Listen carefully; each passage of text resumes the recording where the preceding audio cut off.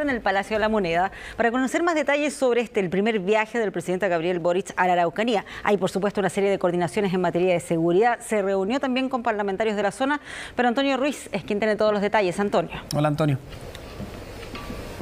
Hola Pati Humberto, ¿cómo están? Gusto de saludarles. Sí, a esta hora de la tarde, mañana, probablemente el presidente de la República, Gabriel Boric, ya va a estar en la región de la Araucanía para este anunciado y esperado viaje del eh, mandatario, donde el itinerario se ha guardado en estricta reserva por motivos de seguridad. Probablemente lo va a acompañar la ministra del Interior, Carolina Toá. El foco, claro, la seguridad y también la inversión para esa zona del país. Se ha dicho que también podrían sumarse otros ministros, como por ejemplo el titular de obras públicas, pese que hay mucha reserva respecto de dónde podría estar el presidente, no se ha confirmado oficialmente, se habla ya de que podría visitar allí las ciudades de Temuco, Angol, Villarrica y Lonquimay. En esto siempre las autoridades eh, locales no van sabiendo información previa de los posibles destinos. Claro, lo que es transversal es la solicitud que hay al presidente de la República que se reúna allí con víctimas de la violencia en la zona. Pero en la previa, lo que ustedes ven en pantalla es la invitación que hizo el presidente Gabriel Boric ayer por la tarde, tarde-noche, a los parlamentarios de la zona, una reunión ahí en el Palacio Presidencial de Cerro Castillo, el mismo lugar que eh, fue la sede ahí del cónclave durante el fin de semana, invitó ahí a los diputados, senadores de los distintos colores políticos que representan a la región de la Araucanía en el Congreso para conversar en la previa ¿no? de esta primera visita del presidente Gabriel Boric a la región de la Araucanía. Ya ha estado en 11 regiones del país y él se autoimpuso se autoimpuso, bien digo, este plazo de estar en la región de la Araucanía antes que finalice el presente año. Pasemos a revisar, si les parece, parte de las declaraciones al término de este encuentro con los parlamentarios, sociabilizando ahí parte el, presidente Gabriel Boric con ellos de lo que va a ser su visita y también ellos, por cierto, le plantearon algunas inquietudes. Pasemos a revisar. Y valoramos que finalmente el presidente haya decidido viajar a la región. Creemos que más vale tarde que nunca, le hemos dicho que cuente con nosotros. Acá no hay espacio para mezquindades. La región hoy día sufre un nivel de violencia intolerable. Eh, le pedimos que fuera a visitar a las víctimas y que no cometa el error que cometió en su minuto Vizque Asiches, donde desgraciadamente cuando fue fue un, verdadero fracaso porque olvidó a las víctimas. Le pedimos un plan, eh, se mostró dispuesto y te insisto, la región lo único que pide es vivir en paz. Esto no tiene color político, todos los gobiernos anteriores han fracasado y vimos en la ministra Toá, vimos en la ministra Analia Uriarte también la disposición, así que nos vamos con una sensación de esperanza. Creemos que aquí el gobierno tiene la oportunidad histórica con un, parlamentarios que quieren avanzar de buscar la solución definitiva a la problemática que se vive en la región de Araucanía. Aquí hay temas de urgencia que él debe plantear eh, en el Congreso Nacional como la ley de usurpaciones, de inteligencia y de robo de insumos y eh, productos agrícolas. Es algo relevante que él debe colocarle el eh, énfasis que corresponde para con ello ir avanzando en lo que significa la paz y la tranquilidad en la región de la Araucanía, que es algo que todos los parlamentarios en forma transversal desean en nuestra región.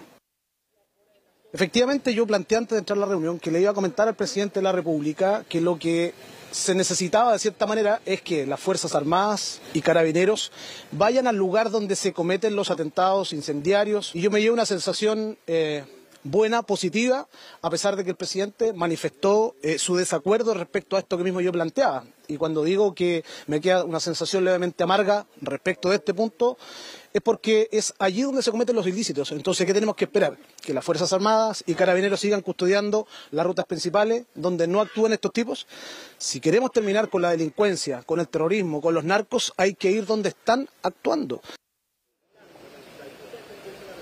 Bien, los distintos énfasis entonces de los parlamentarios que se reunieron ayer por la tarde y tarde-noche ahí con el presidente de la República, Gabriel Boric, en el Palacio Presidencial de Cerro Castillo, en la antesala, solo horas de la visita, la primera de Gabriel Boric a la zona. Ahí lo mencionaban incluso algunos de los parlamentarios que escuchaban ustedes. Fresco está aún en el recuerdo, ¿no? La frustrada visita el 14 de marzo fue cuando la entonces ministra del Interior, Isquia a Siches, intentó visitar allí la comunidad de Temucuicuy, lo que mm, terminó, ¿no? Casi de la peor manera allí con disparos al aire, con bloqueos de caminos y de carreteras. Por eso se están ultimando todos los detalles de seguridad para que la visita del presidente Gabriel Boric sea sin contratiempos. Les cuento que durante esta mañana estuvo aquí en el Palacio de la Moneda, de hecho, el alcalde de la ciudad de, Temuco, Roberto Neira, quien también, claro, fue consultado por esta inminente visita del presidente Gabriel Boric y lo que esperan, claro, las autoridades de la zona que comentarles han sido recurrentes sus visitas en el último tiempo también aquí a la sede de gobierno. Pasamos a escuchar al alcalde de la ciudad de Temuco, Roberto Neira, el anfitrión, el dueño de casa que va a recibir mañana al presidente Gabriel Boric. Hemos entendido que mañana el presidente de la República se encontrará en la región eso ya es de público conocimiento y, estamos muy interesados en lo que él pueda llevar como planteamiento respecto a la situación que les toca vivir a nosotros día a día en la región de Araucanía, no solamente en un tema de, la seguridad, que es un tema muy importante lógicamente, sino que nosotros esperamos una, una claridad en los conceptos del plan Buen Vivir y de otros temas que a nosotros como comuna y como región nos interesan. La palabra entonces allí del alcalde de la ciudad de Temuco, Roberto Neira, diálogos, conversaciones a nivel político en la previa del viaje del presidente Gabriel Boric a la Araucanía que contrastan con nuevos y graves hechos de violencia lamentablemente registrados en el sur durante la noche y la última madrugada, por ejemplo en la comuna de Lautaro, en una parcela allí desconocidos quemaron una casa, dos galpones, y un camión de, carga también. Otro ataque incendiario se registró en Chihuayante, en la región del Biobío, en obras que se están desarrollando en la, la costanera. La idea es expandir allí la ruta, pero bueno, maquinaria de esas obras fueron incendiadas, se usó incluso líquido acelerante, según se reportó allí desde el sur del país. Y en Lonquimay, en la Araucanía, uno de los destinos que podría tener la gira del del presidente, cuatro cabañas fueron quemadas, la resistencia mapuche pehuenche se, adjudicó este ataque incendiario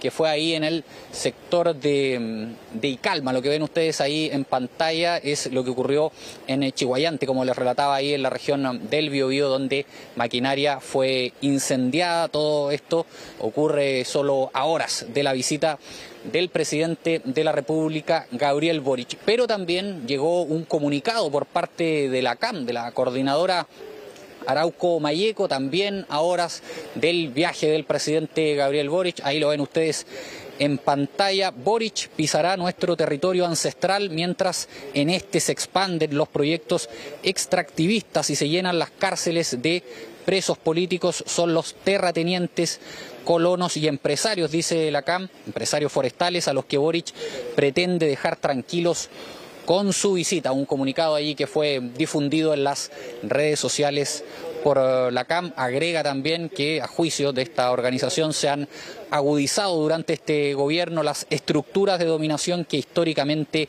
hemos combatido. Quien eh, estuvo en el Congreso durante esta mañana fue la ministra del Interior y Seguridad Pública, Carolina Toá, también eh, comentando estos hechos de violencia que se registraron las últimas horas. Lo hizo allí desde la testera del Senado, donde se discutía una nueva prórroga del estado de excepción constitucional de emergencia, todavía acotado a las rutas ahí en la región de la Araucanía y en dos provincias del Biobío. Fue en ese contexto entonces que la ministra del Interior, Carolina Toá, señaló que pese a todo esto ocurrido, las imágenes que ustedes ven en pantalla, nada de eso va a impedir que el mandatario en las próximas horas aterrice en la Araucanía. Pasemos a escuchar a la ministra del Interior, Carolina Toa. Respecto a los atentados que se dieron el día de ayer, no tenemos hoy día cómo evaluar eh, todavía si tienen que ver con una reacción o crear un clima producto de que se acerca una visita presidencial que ya hace tiempo en realidad venimos anunciando. Em, Lo que sí podemos decir es que no quepa ninguna duda que eso no va a impedir eh, la presencia del presidente y esa no es la razón por la cual eh, se ha esperado esta fecha para realizar la visita. La razón tiene que ver con preparar condiciones para tener una visita sustantiva, que nadie le quepa duda que el presidente no va a la región solamente a decir ya vine, ya pasé por aquí. Eh, parte de eso fue la reunión que tuvimos el día de ayer con la bancada de la Araucanía, donde estaban los diputados y senadores, oficialistas y de oposición, eh, en, una reunión con el presidente, donde tuvimos el espacio para conversar sus puntos de vista y el presidente también se explayara respecto a la mirada con la que va a visitar la región. Bien, desde la mismísima testera allí del Senado, la ministra del Interior y Seguridad Pública, entonces Carolina Toá, refiriéndose a estos hechos y también defendiendo, por cierto, la visita inminente del presidente Gabriel Boric a la región eh, de la Araucanía, todo eso en el contexto, como les comentaba, de la votación para una nueva prórroga del estado de excepción constitucional de emergencia que por vez número 11 logra prorrogar el gobierno en toda la región de la Araucanía y en dos provincias del eh, Biobío. Cada 15 días ha tenido que recurrir el gobierno al Congreso, ¿no? Para tener los votos necesarios para poder resguardar las rutas con presencia militar, una situación de seguridad en la Araucanía que, recordemos, cambió los planes o el guion original del gobierno del presidente Gabriel Boric, que luego de ser electo señalaba allí que no iba a recurrir a esta medida para poder controlar la seguridad y el orden público en la zona. Comentamos ahora lo que fue la agenda del presidente Gabriel Boric durante este día miércoles, bien temprano en la mañana y a menos de 24 horas, podríamos decir, de su primer aterrizaje en la región de la Araucanía. Ahí lo ven ustedes, llegó hasta la escuela de oficiales de carabineros en la comuna de Providencias esto, participó en la entrega de más de 200 vehículos policiales a Carabineros de Chile, destinado todo esto ahí a la reposición de móviles que están fuera de servicio en distintas comunas del país. Muchos han hablado allí de un déficit de vehículos para carabineros y también el gobierno, como sabemos, ha incorporado en eh, la ley de presupuesto allí una dotación especial también en materia de recursos para la institución. Allí, una vez más, al tomar la palabra, el presidente Gabriel Boric respaldó la acción de carabineros, habló del uso de la fuerza, eh, acorde siempre a la ley, y recordó incluso lo ocurrido en la comuna de El Monte, donde un carabinero tuvo que hacer uso de su arma de servicio. Pasemos a escuchar al presidente de la República que cuentan con todo nuestro respaldo para algo que es importante, para el legítimo uso de la fuerza por parte del Estado de Chile, atribución que es privativa de las policías. Y esa fuerza, cuando se ejerce de manera proporcional y de acuerdo a la ley, es garantía de respeto del Estado de Derecho tal como por ejemplo en el procedimiento que se realizó hace un par de semanas por un carabinero en la comuna de El Monte, que fue de público conocimiento de la comunidad, el uso proporcional de la fuerza va a ser respaldado por nuestro gobierno. Bien, escuchaban ustedes entonces un nuevo respaldo a carabineros de parte del presidente de la República, Gabriel eh, Boric, en esta actividad allí más temprano en la comuna de Providencia y a solo horas, Pati Humberto, entonces de esta visita del mandatario a la región de la Araucanía. Vamos a estar muy atentos entonces para llevar a ustedes todos los detalles. Eh, se estima ¿no? que muy temprano el presidente de la República, Gabriel Boric, aterrizaría entonces durante esta jornada de día jueves allí en la región de la Araucanía. Claro, y atentos ahí a lo que va a ser tu relato de este viaje del presidente Gabriel Boric. Muchas gracias por esta información, Antonio. Buenas tardes.